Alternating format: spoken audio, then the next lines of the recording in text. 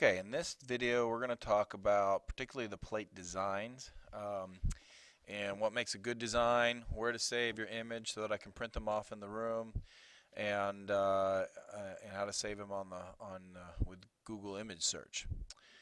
Uh, and what kind of makes a good? We talked about kind of what makes a good design, but uh, so we've got the process, strong plates, and then the Google search.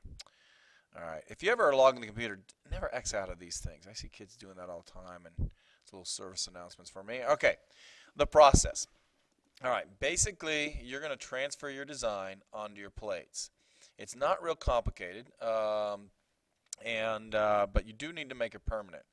And we do that by two methods, by glazing it or um, by actually drawing it in the design. Or in, and the glazing it is, uh, we're going to print it out on the computer, and then um, the uh, the ink will go right onto the clay, which is kind of nice. Um, but you must paint over it, uh, paint over design. So when you pick your images, you want to think very carefully about things you can paint over. So in other words, no photographs would be bad. Um, you can draw lightly over it with pencil. Here's a better example of that. Um, this person put the plate design on there, then lightly, not so deep that you go all the way through the plate or any significant amounts in the plates, but just like lightly on top of it. And then you don't even have to worry about um, you know, you can paint it a little more liberal and, and you've got the design in there. A good design. I should be able to see what it is when you're finished. And um, like they say, if you when you print it on, the print, the thing that we print on actually disappears when I put the clear glaze on. Um, and this is a bad design. Someone had a photograph of a helmet there, and uh, they thought it was going well until he put the clear design, and we lost the original drawing, and it was just as left as what you painted. Um, so you want to pick something that you can easily paint. All right, here are strong plates that I've done in the past, okay? Uh, and I still want you to think about this use of images, okay? We, uh, I don't just want another Ohio State plate. We can go buy those. You're making an original fine arts work of art. Um, that means there should be none other like it. If you just print Ohio State on there or some symbol that I can go buy another plate of, that would not get a very high score. We're trying to do symbols, but more importantly, metaphors. And if you remember from uh, yesterday's lesson, that uh, metaphors are, are a way to take an object that means something larger. Um, here's an A plus student, um, and the reason this is an A plus plate is not only is it kind of a unique uh, symbol for her that represented something in her life, uh, she also has a volleyball and a, and a um, you know butterfly here and some flowers, all of which she um, downloaded with Google Image Search. And so she get and that's my suggestion: do four or five images. Uh, you can always not use one. Um, it's much more difficult on on the um, studio day when we're printing things on your plate if you have other examples, other things. So um, the more the merrier on this in this regard.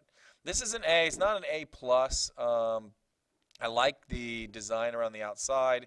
Um, this student had a representation of what that meant uh, to her uh, about the, their relationship. I remember this plate's about a relationship, you know, and the two birds are a good example of that. Um, what would make this better? If they uh, put patterns on here, you know, maybe some dark feathers, or maybe the branch was black, or the you know behind the eye or the beak, I don't know, or something like that to give it some more pattern. It's just outlined, and uh, that's okay, but a little bit weak. This was strong. I liked it. Um, the dog, and then the and the crosses. I like the way he thought about the circular design and pushed them all in. It didn't. There's not an. I mean, there is an up and down for the dog, but there isn't for the uh, the crosses. And once again, um, had an abstract pattern that represented things as well. Uh, going down the scale some, uh, this is still an original plate. Yeah, he used Ohio State in his design, and but some other things that go with it, and and uh, the money symbol, and uh, so there's more there that it doesn't look nice. And remember, we're making a beautiful object, so um, this is a B or C. Uh, you know, it's not super strong, but uh, it'll work. Oh, sorry about that. and then and this I like the fact that you know the some of the plate kind of broke um, apart in his process, but he, he glazed it and it kind of looks cool. I mean, it kind of goes together. So uh, that's one of our skills is uh, when you make a mistake, discover a way to make it work. Uh, that's something that artists can do. Nice symbol. I like the flip-flops idea. I like the, the feel of this plate. It feels very open. It feels very fun. Um, sure, they're they're trying to describe the relationship. I think that those symbols were added on to the flip flop, so a nice, clever place to put that.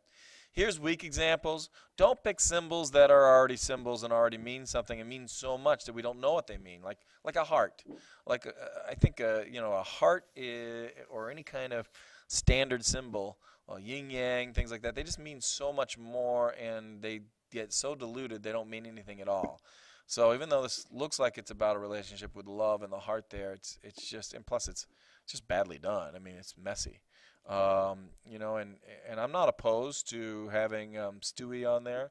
If you're gonna do it, do it right. I mean, what is that? A fin there? I don't what. Like draw it all the way. Um, you may think Stewie's cool, but how does that represent your relationship with somebody? Um, maybe it's sarcastic and rude like he is, but we'll see. All right. Uh, how do we save images on Google uh, image search? Um, basically, you go to Google, and um, if you hit image right away, it doesn't let you do it.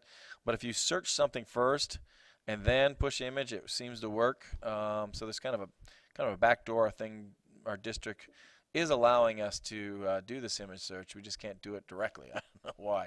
And every year it changes. So by the time you're doing this, it could be a little different. But basically, type in the, the image that you want, and you might get some websites, and then hit image. Now, the first thing you're going to get is um, lots of photographs. And these would be very difficult. Any one of these would be very difficult to put on your plate and then paint. Uh, unless you're really good at simplifying things. So what you want to do next is go to advanced searches. You can do it here. You can do it on the top. If you have a bar like there on the top, you can do it on the top as well. Um, but when you get to the advanced searches, there's several things that I, that I want you to think about. First of all, image size. Oh, let me see if I got close up. Nope, I'll go back. Um, so uh, we, I want you to do image size, which is medium, and that just fits on the plate better. Um, and I'll show you a way of not saving the um, thumbnail. It's got to be our actual image. Uh, color, I'd keep it black and white. And some people even do clip art uh, to help them. So when, when I did that search, I limited it.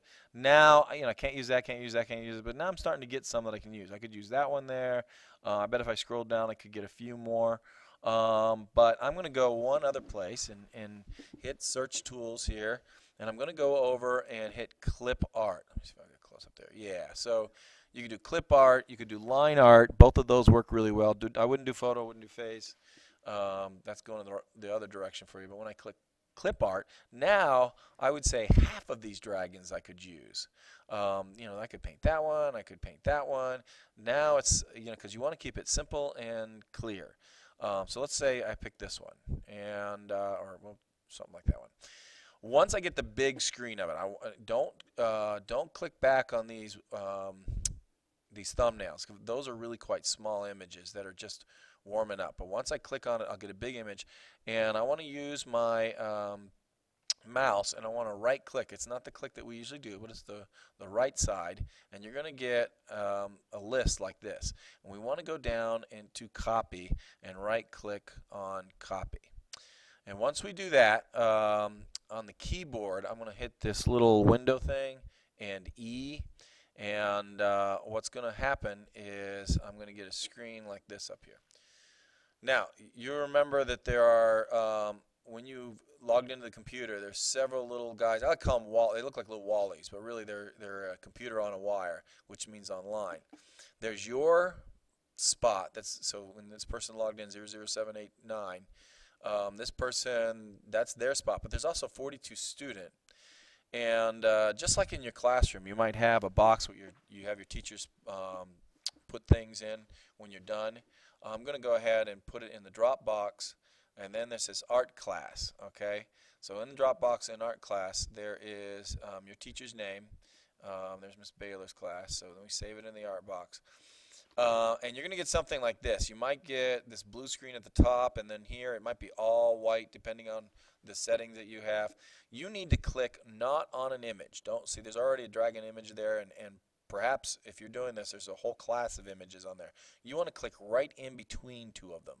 And if you right click in between and push paste, um, then it should show up on there. Now, it will it'll only show up like this for you. You can't see that Um, just like in the drop box in your classroom, you're not really allowed to look at other kids' stuff. You're not allowed to look at the stuff once it's in there, and you can't change it. You can't delete it once it's in there.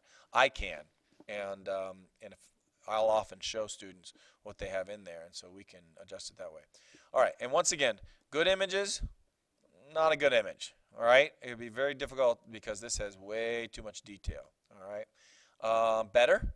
Um, this is a better image. I could copy that one. Um, I could maybe make the fins a little darker, and I could work with that. Here's the best. It has uh, good, clear places for your paint, for your black and the white, and it's kind of a nice design. It's interesting. Um, it'd be difficult to come up with that. Uh, so I think that's the best.